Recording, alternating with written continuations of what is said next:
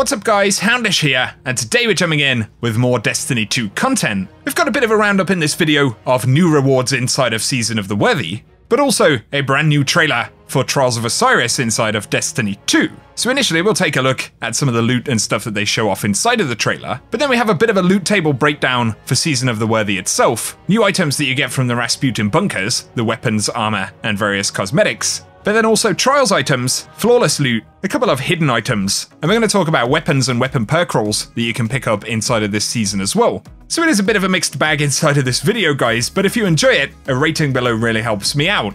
And otherwise, let's get into it. Before we talk more in depth about loot and items inside of Season of the Worthy, there is a brand new trailer for the Trials of Osiris, so we can check some of that out right here, see a bunch of the flawless glows, elimination action, and of course new weapons and armor in there as well, so check this out.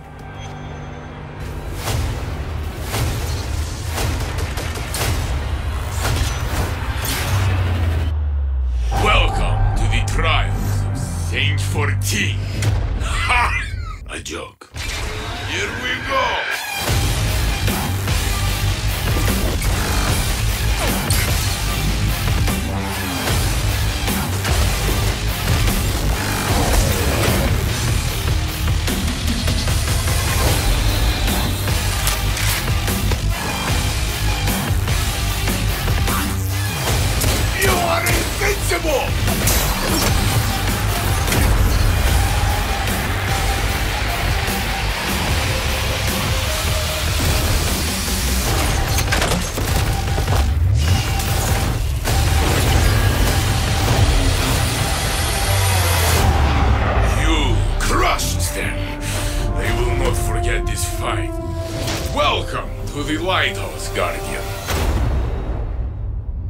Certainly a pretty exciting trailer, and we're going to talk about some of the Trials loot in just a moment. Be sure to give us your thoughts about it down below, but now let's speak about loot tables inside of Season of the Worthy.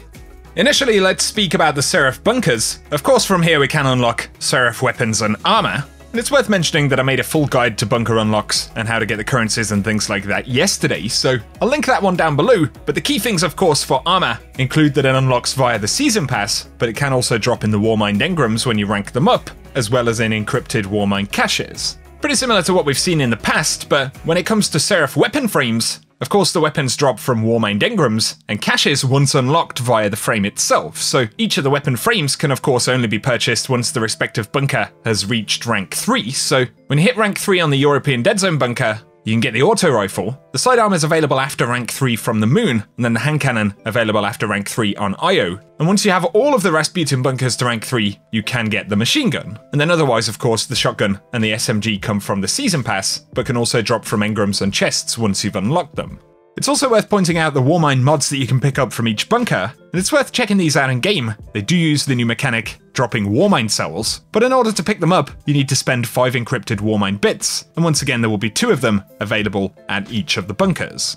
Now though, let's talk about Seraph weapons and perk rolls. So initially, we have the 7th Seraph Carbine. This is a new kinetic 450 RPM auto rifle, so it's pretty stable, has decent range there. Importantly, in the magazine slot, you can get high caliber rounds, extended mag, and light mag, amongst a few other things. But for trait bonuses in slot 1, you can get hipfire grip, slide shot, fourth times the charm, threat detector, underdog, and auto loading holster. And then the second slot can get elemental capacitor, vorpal weapon, rangefinder, swashbuckler, rampage, and moving target. So especially in this current meta, Things like Slide Shot and Fourth Times the Charm can be pretty good in that first slot, but then Rangefinder and Rampage are very good options in the second slot, but of course you can play around with the other potential bonuses. So that's the EDZ weapon, but then we have the 7th Seraph SI2, which is the sidearm that you get from the moon. So it's a 360 RPM energy sidearm, and mag slots can get accurized rounds, alloy magazine, tactical mag, and flared magwell. And then from the notable trait slots, in slot 1, you can get auto-loading holster, and maybe hipfire grip, but threat detector and especially demolitionist are very good, especially when you pair it with some of the slot 2 bonuses, so you can get surrounded. That has the potential to be really pretty solid in PvE or PvP, and once again paired with demolitionist it could be pretty fun. But you can see right there the other bonuses, things like Dragonfly, Vorpal Weapon, Elemental Capacitor, Snapshot, and even Zen Moment. For the hand cannon, the 7th Seraph Officer Revolver, it is a 180 kinetic hand cannon, which is interesting. it can roll small bore, hammer forged, and corkscrew rifling, and then in the mags you can get accurized rounds, which is good. But also tactical mag would be alright. And then in the trait slots, things get kind of interesting. So you can get firmly planted, pulse monitor, underdog, ambitious assassin, fourth times the charm, and threat detector in slot 1, with feeding frenzy, vorpal weapon, osmosis, which is an interesting one, and then timed payload, high impact reserves, and multi kill clip in slot 2. So you could play around with firmly planted, ambitious assassin, or fourth times the charm, depending on exactly what you're playing, and then in slot 2, multi kill clip could be pretty interesting. And timed payload is also different for a faster firing hand cannon. Could be a potentially interesting weapon on console, but We'll see once we get our hands on it. But finally for the 7th Seraph Saw, this is a 360 RPM machine gun, and especially in the traits has the potential to get interesting. We've got Grave Robber, Zen Moment, Clown Cartridge, auto-loading holster, and field prep in the first slot, then Vorpal weapon, opening shot, mulligan, disruption break, firing line, and elemental capacitor in the second slot. So Clown cartridge, Zen moment, auto-loading holster, and maybe playing around with field prep could be pretty interesting. Vorpal weapon obviously could be pretty good in PvP, but firing line is kind of a unique one here,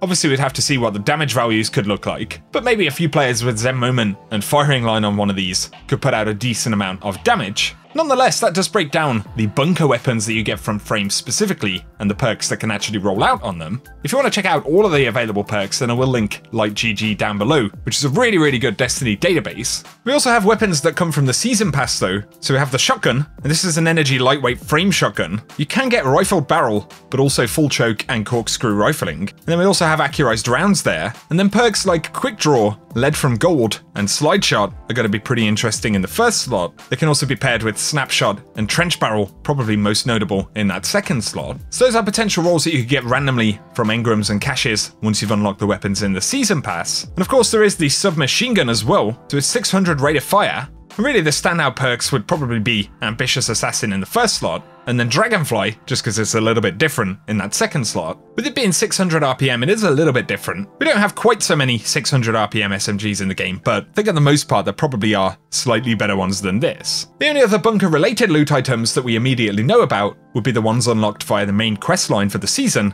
and this has us upgrading the bunkers which essentially will require us to ultimately upgrade all of them once they release. So there are time locks on various items this season, and it's best to refer to the roadmap to see what's going to drop and when. We should mention that the point of the stag is going to be the Iron Banner Ritual Bow by the looks of things for this season.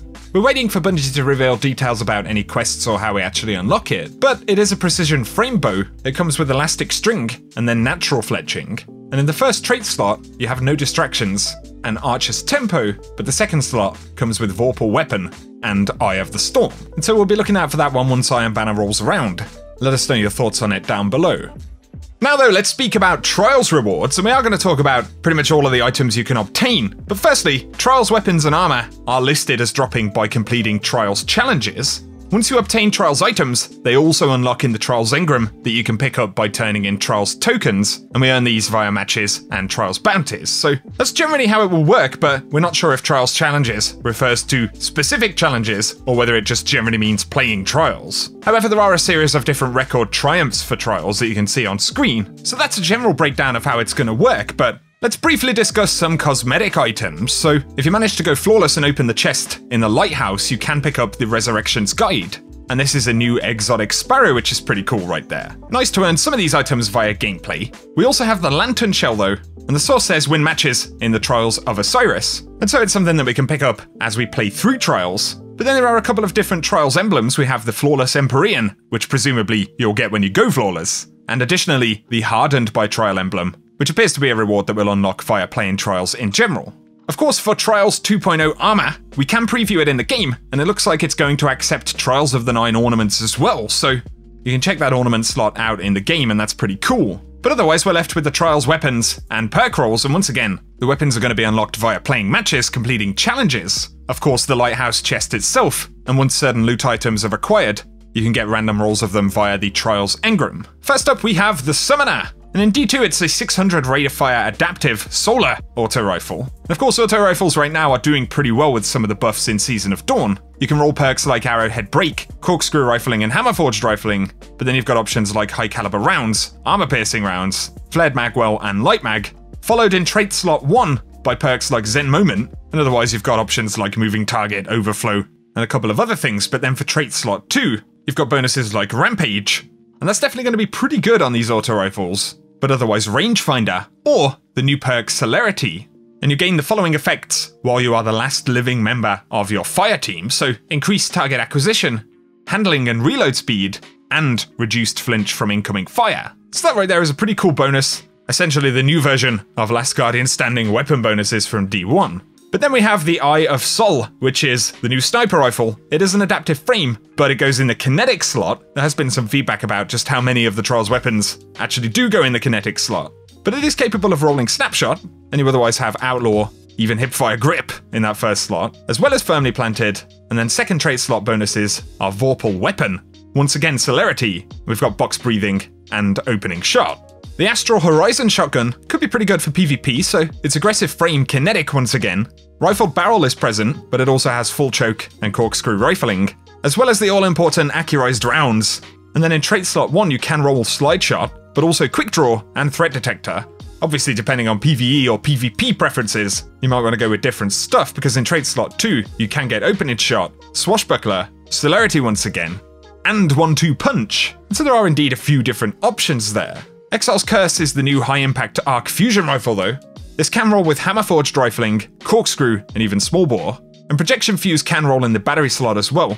So that'll be pretty nasty, and then you can roll bonuses like firmly planted in trait slot 1. Otherwise you've got field prep, underdog, no distractions, grave robber, and threat detector. Definitely a mixed bag once again. And trait slot 2 can roll snapshot, celerity, and feeding frenzy, but otherwise you have elemental capacitor, multi-kill clip, and disruption break there. The Scholar is going to be an interesting one, of course. 150 high impact kinetic scout rifle. It can roll arrowhead brake, which might not be bad for recoil, but otherwise, perks like corkscrew rifling, polygonal rifling are probably going to be generally pretty good options. And then the mag slot can roll high caliber rounds, flared mag well for stability and faster reloads. And trait slot 2 can roll quick draw, opening shot, and full auto could be interesting. Also, maybe no distractions could be interesting, but you've got snapshot and celerity present there as well. There's also tomorrow's answer, the rocket launcher. You've got volatile launch, confined launch, countermass, hard launch linear compensator, quick launch and smart drift control, alloy casing, black powder, high velocity rounds, implosion rounds, and impact casing. And you can roll out with rangefinder or track-in, and then cluster bomb or snapshot. You've also got things like underdog, moving target, genesis,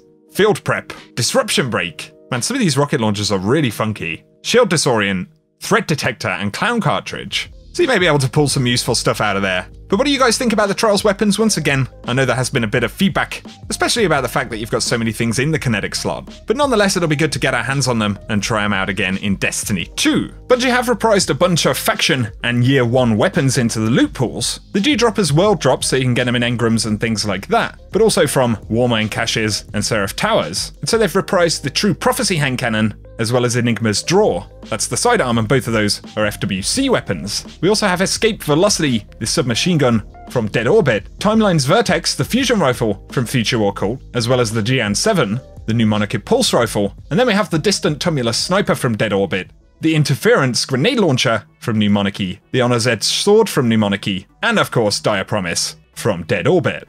For today though guys, that's everything we have to round up in this video, so I hope you guys enjoy it as always, and if you have enjoyed it, a rating below is very much appreciated. If you're new to the channel and you want to be kept up to date with the world of Destiny 2, then be sure to hit that subscribe button. But for now, I appreciate you tuning in guys, and whatever you get up to, I hope you have an awesome day.